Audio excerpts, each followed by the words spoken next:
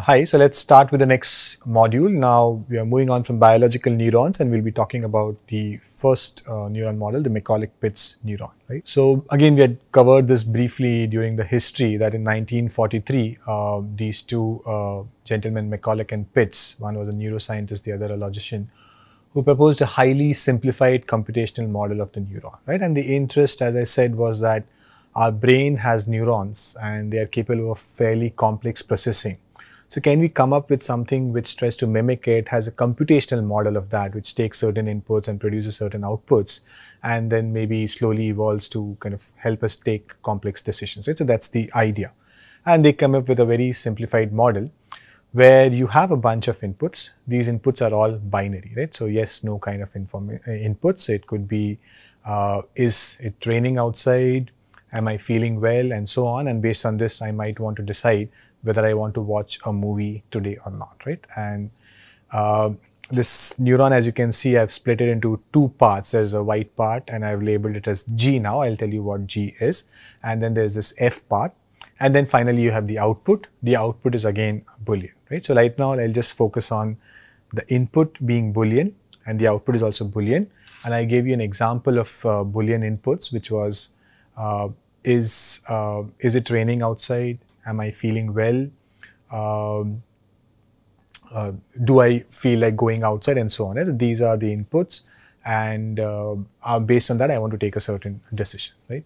Now what this model does is very simple right? and it just follows what we are trying to show in the uh, neuron uh, example, biological neuron example. It aggregates all the inputs, right. So there are these n inputs, it aggregates all of them. So all that the g function does is a simple aggregation and you could just think of it as a summation. It's just summing up all the inputs and these inputs can either be 0 or 1. So at max you could have all the inputs which are 1 so that would just be a sum of those ones right. And then f takes a decision based on this aggregation right. So remember one of the cartoon examples I was showing was that this neuron will fire only if two out of the at least two out of the three input neurons were uh, firing which was is the speech funny, is the visual funny, is the text funny. If any two of three, these three fire, then this will fire, which is the same as saying if the sum of the inputs is greater than 2, because the inputs are either going to be 0 or 1, then the neuron will fire. So this F is going to take a decision based on the aggregation, right? Uh, I've still not completely defined G and F, but we'll do that. Uh, so these inputs that you have, they can be excitatory or inhibitory, right? So first I'll just want to get rid of this inhibitory input. I'll mention it uh, a bit in detail on now and then we'll not see it again uh, mostly in the course. So it may be a bit on the next slide, but after that we'll not see it. So inhibitory inputs are such that if that input is 1, that means if that out, uh, input is on, then it doesn't matter what the other inputs are, the output is always going to be 0, right. So it's a bit of a uh, uh, kind of party spoiler kind of a input and you could think of it, right? So if I'm taking a decision and if the uh, input uh, is uh, do I have high temperature, right? If that input is on, then irrespective of whether I'm in the mood to go for a movie, whether I'm free today, whether there's a good movie outside, whether it's raining, not raining, it doesn't matter. If this input is on, my output is going to be zero. I'm not feeling I have a high, do I have a high temperature? Where I define high temperature as anything greater than 1, not 2 uh, then I'm not going to uh, go to watch a movie. So if I don't have any inhibitory input, right? So none of these inputs are kind of party spoilers. They're all uh, positive inputs in the sense that helping me take a positive decision.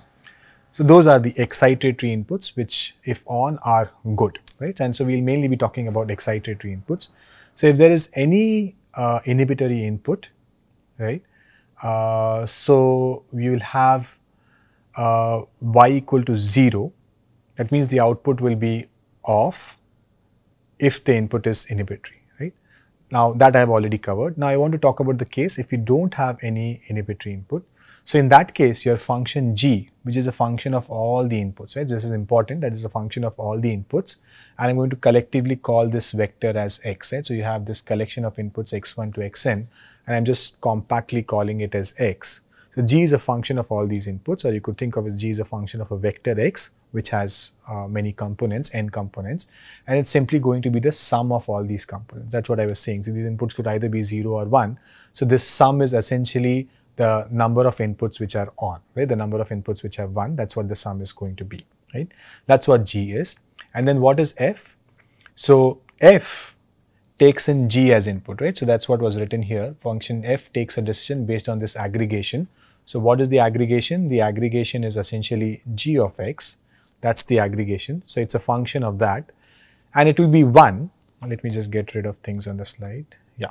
So it will be 1 if g of x is greater than certain threshold, right? So again, going back to that example, the biological neuron would fire if at least two out of the three neurons was on, right? So what that means is that if I had n neurons and if my threshold is 2, that means f will be 1 if at least two of the n inputs is uh, uh, on, right?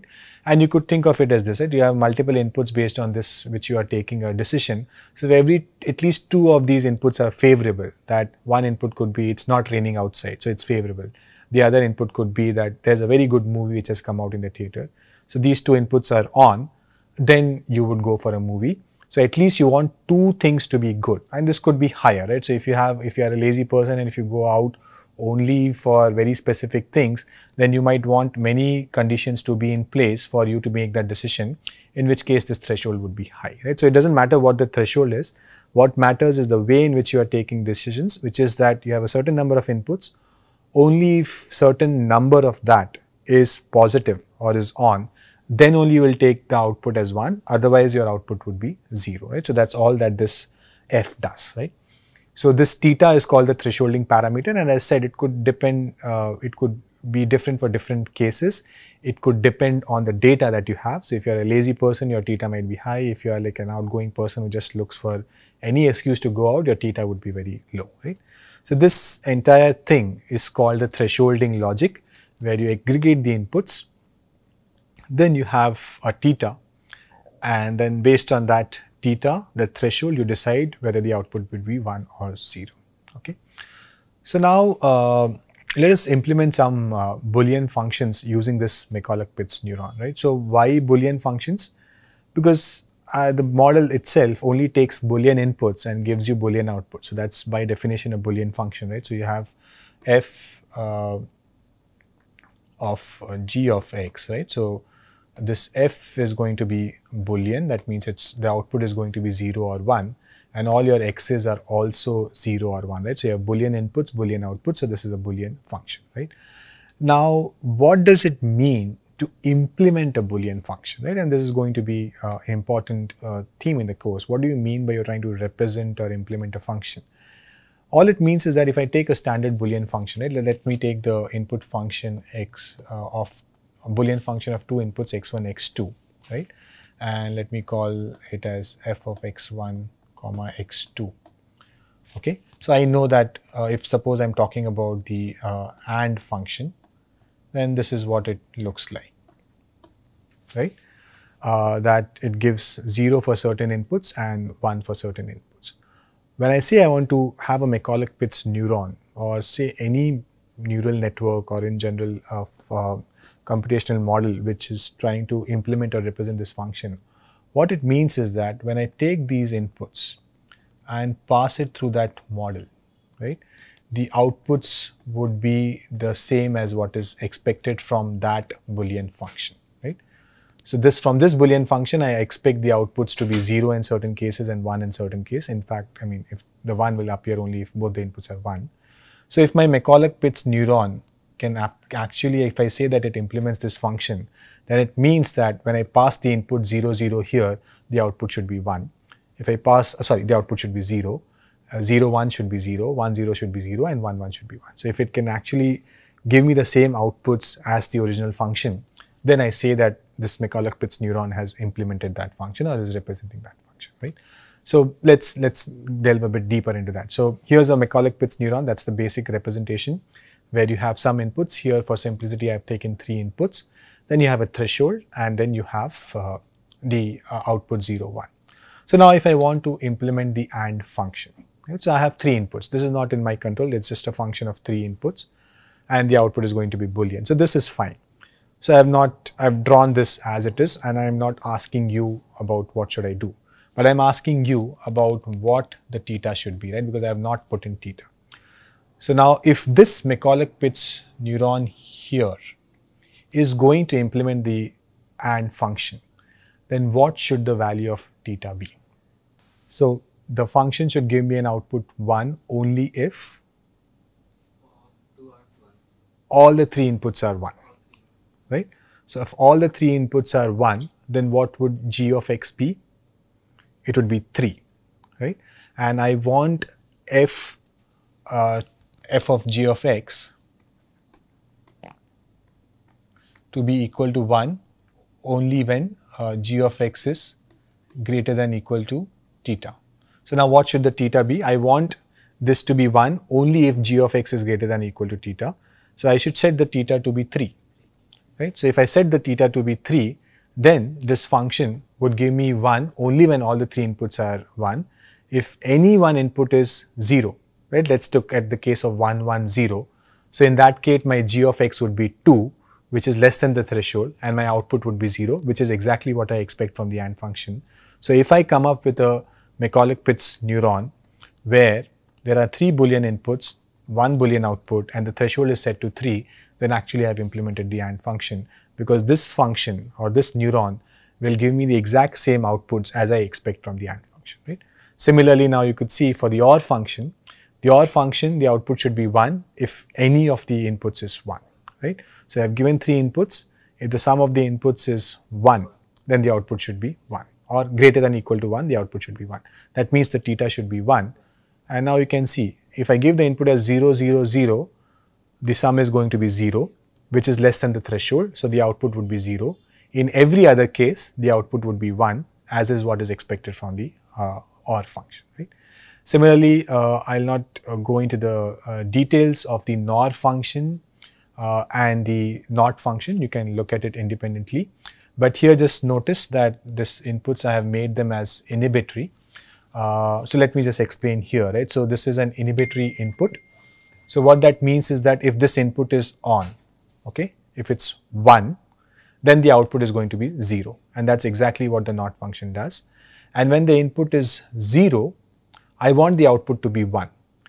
And so remember it, it's two step, right. So if, if there is an inhibitory input, then the output is going to be, uh, if the inhibitory input is on, then the output is going to be 0. That is satisfied, right. So, whenever there is 1, the output is going to be 0. But if the inhibitory input is not on, that means if it is 0, then what do I want? I want the output to be 1. So, in that case, I will just set the threshold to 0, right. And then now since the uh, sum, which is trivially 0 here, is greater than equal to the threshold, which is 0, so the neuron will fire, right. So this I had to do because this is a NOT function where if something is on, I want the output to be off and hence an inhibitory input makes sense here. And similarly, now you can go back and check why the threshold 0 makes sense for the NOR function. Right? So that's, that's how this is. So now the question is, can any Boolean function be represented using a McCulloch-Pitts unit, right? And to answer this question, I think we have been just in this uh, arithmetic world, right, where we are just taking g of x and then applying some threshold and seeing what the output is. So to answer this question, I think we need to go into a bit of a geometric interpretation, right. So let's see what the McCulloch-Pitts neuron is actually doing, right. So I'll go to this uh, this equation or inequality here, right, which is x1 plus x2 is greater than equal to 1, right. And for a minute, I'll uh, ignore the inequality Oops.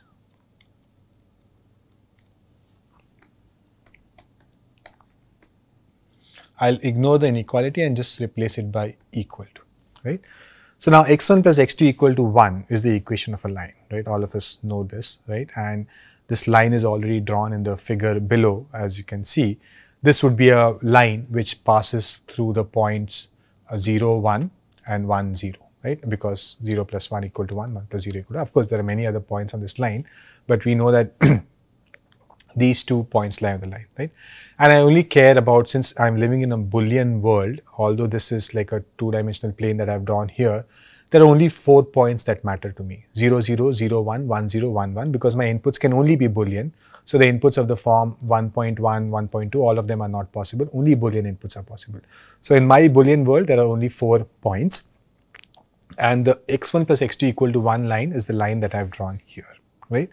Now you can see that what is the McCulloch-Pitts neuron doing? Actually, your, your decision is x1, if x1 plus x2 greater than equal to 1, then the output would be 1, else the output would be 0.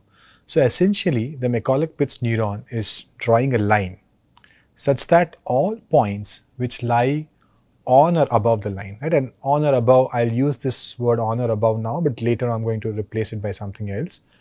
The output is going to be positive, right? Because these are the points for which x1 plus x2 is greater than equal to 1. And you can see that if I substitute 0, 1, 1, 0 here, it will be equal to 1.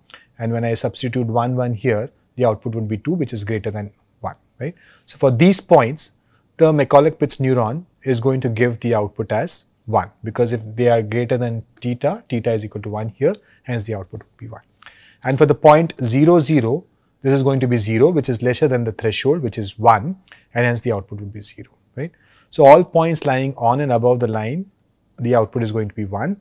All points lying below the line, the output is going to be 0, right? A more correct way of saying this is that for all the points which lie in the positive half space of the line, positive half space of the line is all the points which satisfy this equation, right? And negative half space of the line is all the points which satisfy the equation x1 plus x2 less than 1, right? So, the points which lie in the positive half space of the line, which is the shaded portion, the output is going to be 1. And there are only three such points in our Boolean world and the output is indeed 1 for them. And for all the points which lie in the negative half space and there's only one such point 0 comma 0, the output would indeed be 0 for that point. Right? So, what the McCulloch-Pitts neuron is essentially doing is it's dividing your space of inputs into two halves. One which lies in the positive half space and the other which lies in the negative half space. And for all the points which lie in the positive half space, the output is 1 and for the other points is 0, right. So, we will now, uh, let me just delete this so that people who want to read the slides can read it while I am talking. So, now what we are going to do is that we are going to convince ourselves about this statement that this is actually a line. All you are doing is drawing a line and then the points are divided into two halves, positive and negative half space. Let's try to convince ourselves about this if it's not already clear from this example, right? So let's let's just see. So now let's look at the AND function, right? So what's the equation, what's the inequality there? x1 plus x2 greater than equal to 2. So again for a minute I'll forget about the inequality and just say x1 plus x2 equal to 2 and that's the dark orange line that has been drawn here, right? And it makes sense the point 1 comma 1 which is one of the four points that I care about actually lies on this line, right? And that is the only point in my Boolean world which will satisfy the equation x1 plus x2 greater than equal to 2. If I substitute any other point, then it will not satisfy that equation because x1 plus x2 would be 0 or 1 in that case, which is less than 2. So, all these points lie in the negative half space of the line and the point 1 comma 1 lies in the positive half space of the line. So, again you have this division of the inputs. There are four possible inputs into two half spaces and for one set of points the output would be 1 and for the other set of points the output would be 0. Same way you can think of uh, the tautology function which would be the threshold there would be 0 right because you want it to be always on. So, even if the input is 0 0 you want the output to be 1 that means if the aggregation is 0 still you want the output to be 1 which is simply saying that the threshold can be set to 0. So, that for 0 0 0 1 1 0 1 1 all four of these the output would be 1, right? And this is the line x1 plus x2 equal to 0 that you see here. And again, you can see that all the four points in my Boolean world, they lie in the positive half space or I can loosely say above the line here and there's no point which lies below the line. So, all the points are in this one group and they'll always be one as is expected for the tautology function, right. So, the main uh, takeaway while before we go to the three point example or three input example not three points, three inputs example, is that the McCulloch-Pitts neuron is essentially drawing a line, right? And that's a linear decision boundary which is separating the input points into two parts, right? So that's the main uh, takeaway. Now, what if you have more than two inputs, right? Often in two dimensions, it's all makes sense. So as you know from uh, the linear algebra course that uh, now instead of a line, we'll have a plane, right? And let's see what that looks like, right? So for the OR function, if you take that as an example, then 0 comma 0 comma 0 is the only input for which I want the output to be 0 and for all the other 7 inputs, I want the output to be 1, right? So now I would, before even I show the figure, I'm trying to imagine what it should look like. It should look like that I have like a plane such that 0 comma 0 comma 0 lies on one side of the plane and everything else lies on the other side of the plane, right? That means I would have divided my inputs into two parts such that on one side I have inputs for which the output is 0 and there's only one such input and on the other side I have all the inputs which are 7 inputs for which the output is 1, right? So let's try to see that. So this is again I'm in a boolean world so even though I'm in 3 dimensional I don't have infinite points I only have 8 points the 0 comma 0, 0, 0, 0 all the way up to 1, 1, 1. You know how to construct those 8 points. And now I have this plane, right, which is actually the plane x1 plus x2 plus x3 equal to 1. That's the plane that is there. And of course, the points 0, 0, 1. So let me just slide it down. Oops. Oh, I may not be able to write here. Okay, so the I'll write it later on. I let me just uh, be here. And you can see that uh, if I have this plane, then the point 0 comma 0 comma 0 is below this plane and all the other points 0, 0, 1, all the other 7 points, I am not going to call them out, they are either on the plane or above the plane, right? And that makes sense because for the OR function, as I said, the output should be 0 only for this one point which is shown in red and it should be 1 for all the other points, right? So, this triangle that you see is the plane and you can see that there's only one point below the plane and everything else is on or above the plane, right? And uh, if I want to go back to the, so, uh, so uh, arithmetically what was it? x1 plus x2 plus x3 is equal to 1, right? That's the plane, that's the blue triangle that you see and uh, you can see that uh, except for the point 0 comma 0 comma 0 any of the 7 points will give me an answer which is greater than equal to 1 hence they lie in the positive half space of the line. And the point 0 comma 0 comma 0 will give me the sum as 0 which lies in the negative half space of the line right? So this the main point here is that this is not restricted to two inputs. For n inputs 3 inputs n inputs it will all the analogy would be the same. The geometric interpretation would be the same that you'll have in hyperplane and you'll have points lying on one side of the hyperplane and points lying on the other side of the hyperplane, right? So the story so far is that a single McCulloch-Pitts neuron can be used to represent Boolean functions which are linearly separable. Right? So what do I mean by linearly separable? I have not defined that yet. Uh, so linearly separable, linear separability in the case of Boolean functions simply means that there exists a plane such that all points for which the output should be 0 lie uh, on one side of the plane and all points for which the output should be 1 lie on or the other side of the plane, right, and positive half space and the negative. That's all that linear separability means, right. So, that's the story so far that McCulloch-Pitts neuron can be used to implement such linearly separable uh, Boolean functions. And later on, now the question is of course, what happens if there is a Boolean function which is not linearly separable and before that do such Boolean functions exist which are not linearly separable. So, these questions will uh, address as we uh, go along.